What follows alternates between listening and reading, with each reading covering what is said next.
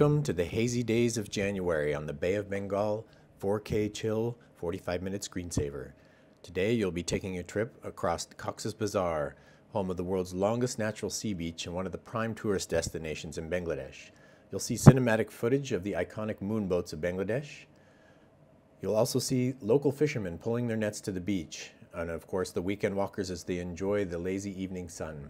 Come journey with me in beautiful Bangladesh you'd like to see more of these, please like and subscribe and let me know what else you would like to see.